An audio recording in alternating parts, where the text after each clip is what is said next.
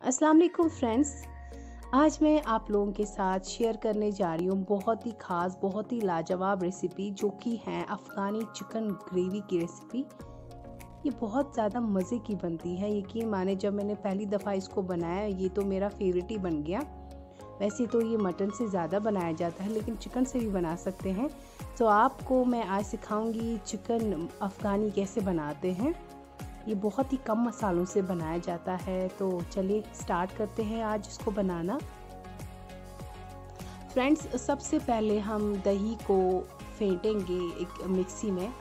आप हाथों से भी फेंट सकते हैं ताकि इसमें जो लम्ब्स है ये ख़त्म हो जाए।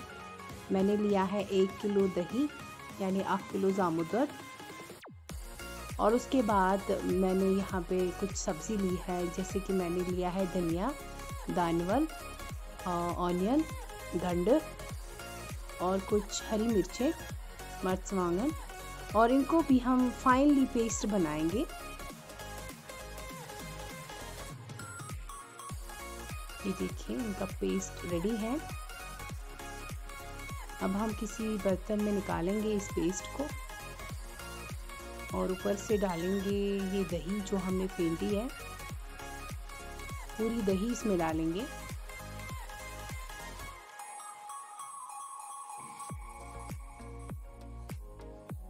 और अब मैं यहाँ पे इसमें डालूँगी जिंजर गार्लिक पेस्ट एक चम्मच, काली मिर्च पाउडर मर्च पाउडर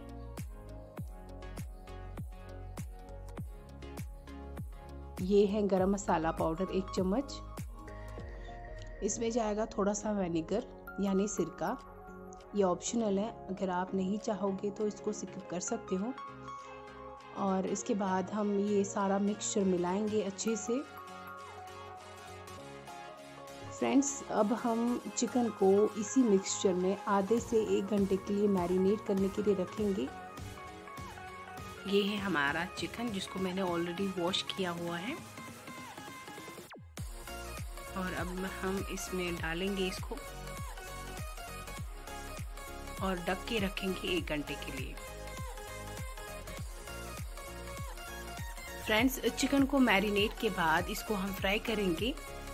इसके लिए मैंने यहाँ पे लिया है एक पैन में ऑयल और ये है हमारा चिकन इसको हम निकालेंगे और एक एक पीस इस पैन में डालेंगे और फ्राई करेंगे अच्छे से।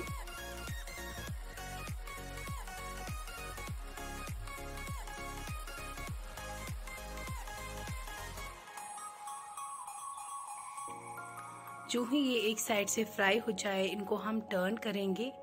एक एक करके और दूसरे साइड से भी इनको फ्राई करेंगे।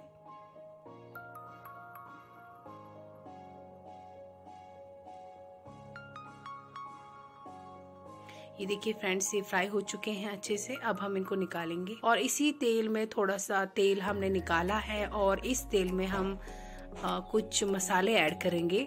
जीरा जुर बड़ी इलायची बडर दालचीनी लौंग, रोंग, छोटी इलायची, निचल और इनको हम हल्का सा फ्राई करेंगे। और उसके बाद जो हमने मैरिनेशन का जो मिक्सचर था, ये इसमें ऐड करेंगे और इसको हम कुक करेंगे।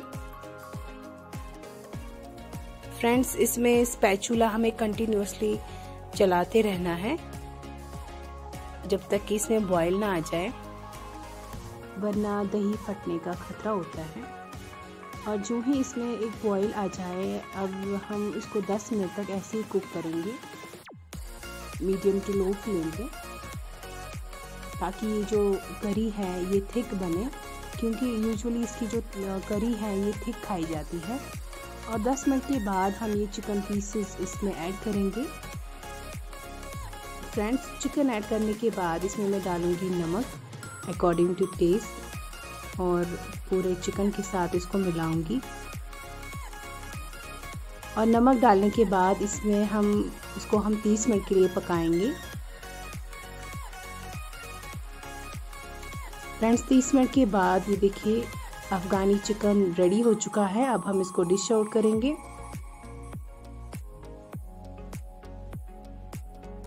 फ्रेंड्स ये बहुत ही ज़्यादा मज़े का बनता है, बहुत ज़्यादा टेस्टी होता है। आप भी अपने घर पे ज़रूर ट्राई कीजिए।